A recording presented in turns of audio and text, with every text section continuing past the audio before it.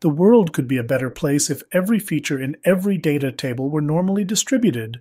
Why am I saying that? That is because for each feature we could generate new data just from two parameters, the mean of that feature and the standard deviation. Seeing is believing. For now, I am creating a function to draw two distributions or histograms side by side. I will call this function to show the original data distribution and the generated data distribution. If the original data distribution and the generated distributions are the same, then their histograms should look similar. Then I am writing a function called generate underscore data that will take a data set, which is the first parameter, and the number of samples to generate as inputs. The function will generate a new dataset that has the same mean and standard deviation as the given dataset. This function assumes that the given dataset is normally distributed. Therefore, the generated data will be normally distributed, following the mean and the standard deviation of the given data. Here, I have created an array with normally distributed numbers equivalent to a data table column. If I can create a model that can learn its distribution, we can easily sample from that distribution to generate real-looking data. Let's take a look at the distribution of the 1000 numbers in the feature. The histogram shows that the data is normally distributed. We are considering that these 1000 numbers are our original data.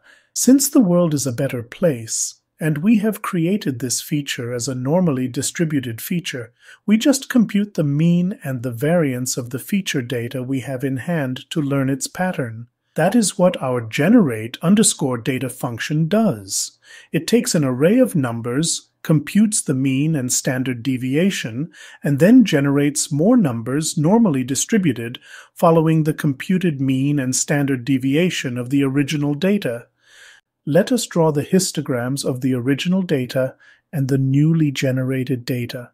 They look almost exactly the same. That is because the world is an awesome place. Now consider that the world is a slightly skewed place. The data is no more exactly following a normal distribution. The original data is log normal and hence skewed. With an assumption that it is nicely normally distributed, we compute mean and standard deviation and hence generate the new data.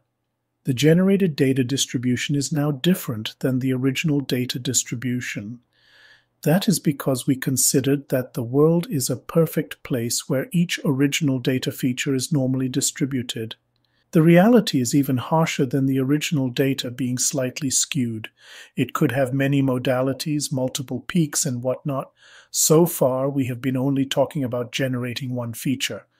The reality is that your data table may have thousands of features.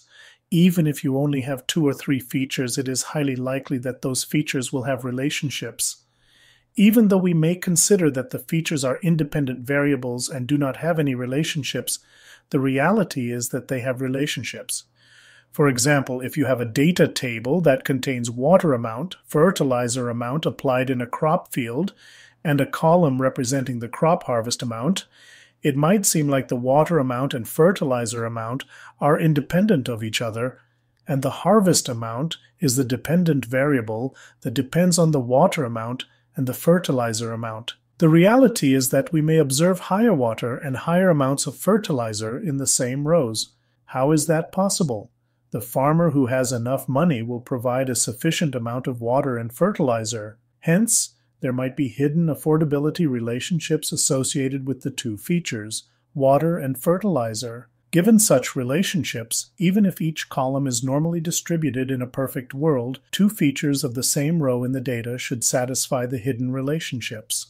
Those hidden relationships can be determined by correlation or covariance between features of the original data.